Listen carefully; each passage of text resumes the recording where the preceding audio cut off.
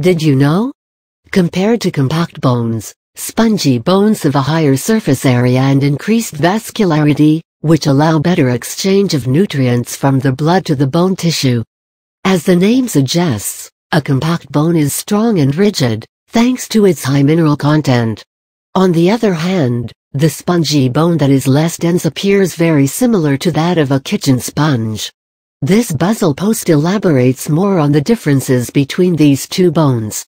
Depending upon the structure of the bone, the human skeletal system consists of two types of bones, spongy and compact. The spongy bone is a tissue that lies in the interior of the bones. The compact bone acts like a protective shell, covering the lesser dense structure of spongy bones.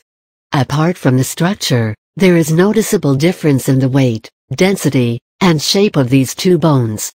Difference between spongy and compact bone structure The compact bone is an elongated cylindrical structure that forms the tough, outer layer of the majority of bones. Also referred to as the cortical bone, it provides a framework and strong support to the human body. It is heavy, tensile, dense, and primarily consists of calcium.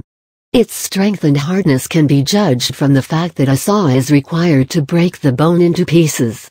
Contradictory to its name, spongy bones are not soft. They are named so because they closely resemble a kitchen sponge.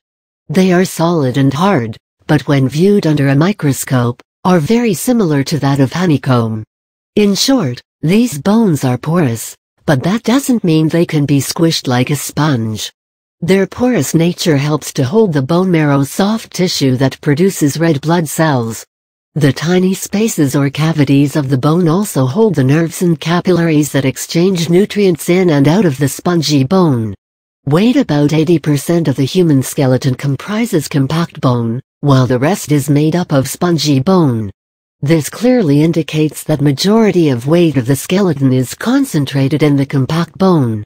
No wonder, it is considered to be the heaviest among the different types of bones. On the other hand, the porous nature of spongy bones makes them lightweight.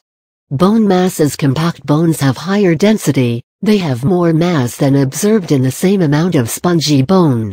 No wonder, the denser layers of compact bone are a major contributor to the weight of the body. Mineral content calcium is the primary component of compact bones. A majority of calcium stored in the body lies within the compact bone. Its compressive strength and rigidity have been attributed to its calcium content.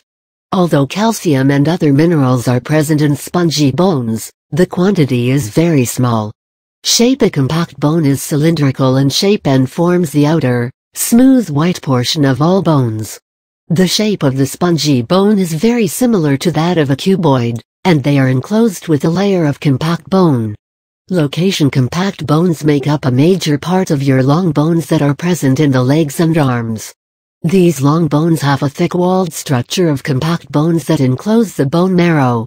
Short bones, on the other hand, found in the ankles and wrists are mainly constructed of spongy bones. The spongy bone is also present at the end of long bones.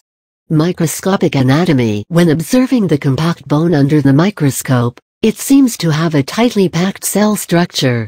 A compact bone may appear like a solid, smooth structure, but when examined under a microscope, it is made up of canals, tubular pathways that store the nerves and blood vessels. The compact bone primarily consists of star-shaped cells, referred to as osteocytes. These cells are stacked one above the other, encircling the canals. The combined structure of osteocytes forming a ring-like pattern around the canals is referred to as osteons.